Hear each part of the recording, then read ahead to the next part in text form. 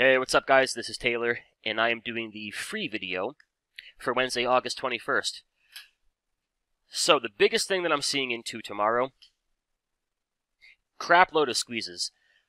On these watch list columns, I've got the weekly down to the 5 minute time frame, and these tell me whether or not we got a squeeze.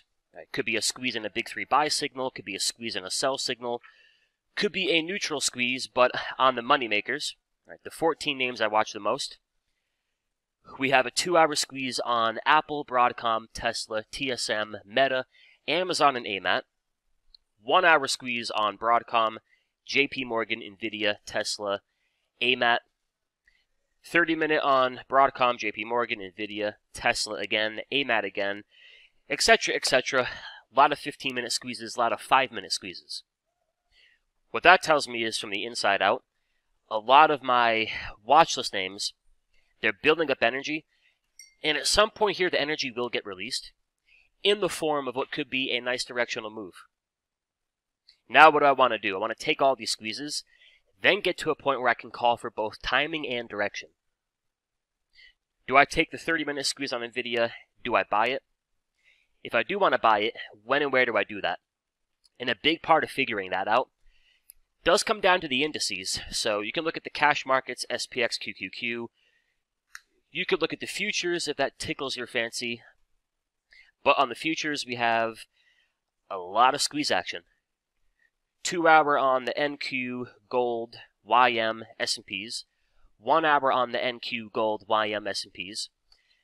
They've got some 30 minute, they've got some 15 minute, all kinds of compression.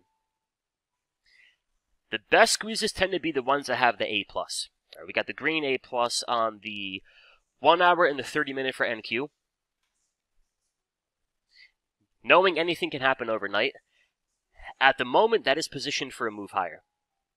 It's got good structure, good trend. More importantly, momentum has been hanging out below zero.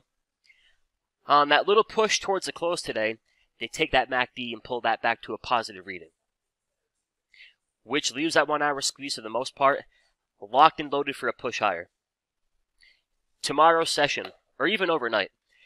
If they take out key support here at the 21 and the hourly 50, momentum will likely go back below zero.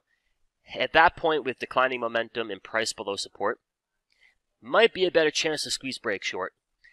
At the moment, the signals would imply much better chance that squeeze fires to the upside. If they can do that and take out today's highs, then you look to the 2 hour, 30 minute, 15 minute squeeze on Broadcom, you look at the two hour, 30 minute squeeze on Tesla. Few here on Meta, few on AMAT. Wait for a trigger in the indexes first. When you get the trigger, then go look to your watchlist names. My major focus would be a lower time frame squeeze. Um, the perfect time for a swing trade on a weekly or a daily squeeze, I think, is when the S&Ps look like they look back in May, June.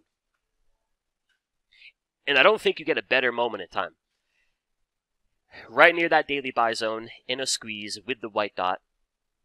Squeeze fires kicks off a few weeks of wind at your back. Very impressive move off the bottom. We don't have the same setup. We don't have compression from a daily squeeze. We are not setting up near that 21 EMA. Until that changes, I'm bullish. I'm looking for spots to get long. We're doing that down on the 1 hour, 30 minute, 15 minute squeeze as opposed to a weekly or a daily squeeze. And for the most part, that's been working out really nicely. Few winning trades on AMD, a few on Nvidia. We hit Microsoft, we hit TSM.